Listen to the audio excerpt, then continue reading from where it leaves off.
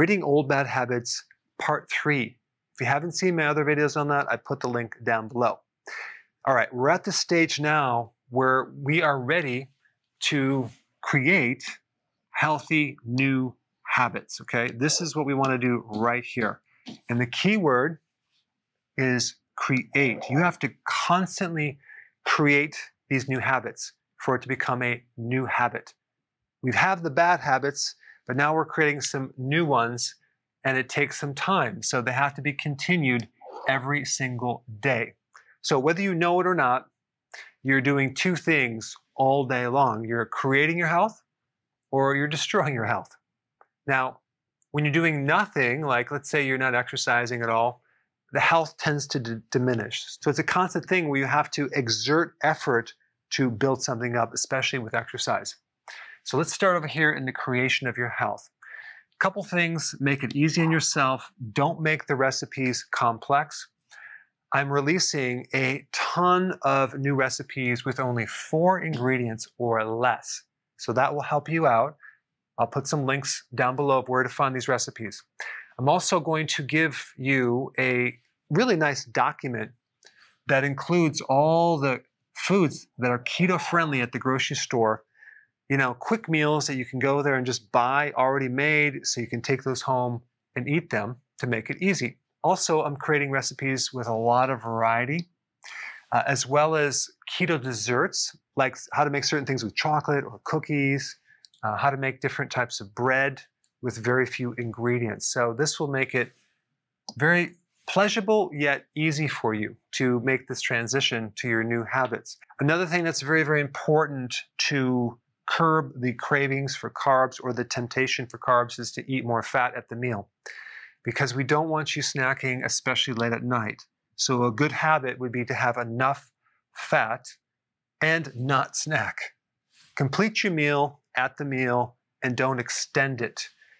There's a lot of people that have supper that turns into a very long meal where they keep eating until they go to bed. We want to break that habit. It's not a good one. Also, not having any junk in the house. I will tell you, if I had potato chips in my house, I probably would start consuming them. I just don't have them in the house. I don't want that temptation. So get the junk out of your house. All right, next one less restaurant foods. I think it's a really good experiment sometimes to just notice how you feel the day after you go to a restaurant. Usually, despite how much you spend, you feel kind of either bloated or you feel kind of tired because you never can control the ingredients. A lot of times they have hidden ingredients like in the soups and the dressings that are sugary, that have refined carb, cornstarch, so try not to go to restaurants very often, okay? But I do understand in the beginning, you may need to do um, what's called dirty keto and not worry about the quality because you're starting new and it's too overwhelming. So it's much better to just go to a restaurant, even if it's a fast food restaurant, to you know eat something without the bun or have a somewhat keto friendly not necessarily worrying about the ingredients, but you're just trying to keep your carbs low as a first step. Now, I'm going to put a link down below that you can get more information on this dirty keto. In other words, what types of meals that you should be eating if you decide to do fast food versus meals that you shouldn't be eating, okay? So, we'll give you some ideas on that if you if you need to do that. Next point is awareness. When you go through stress, you kind of go into this mode where you're not yourself and you'll do things uh, that you normally don't do, especially as it relates to food. Certain people, when stressed, go right for junk food. Okay, so you're going to have to keep your awareness very, very high when you're stressed and do the right thing by taking certain B vitamins, uh, maybe having a healthy uh, keto dessert to counter the stress and actually get rid of the stress. I have a lot of tips for this. Boredom, the same thing boredom is actually even worse sometimes than stress because you're you have to um, keep yourself really really busy um, people tend to eat when they're bored so this is all about just being aware that you have this new habit that you're trying to keep implemented okay next point is this right here never, never, never, never ask this question to yourself hmm, what am I in the mood for today? Because you're always going to get the wrong answer.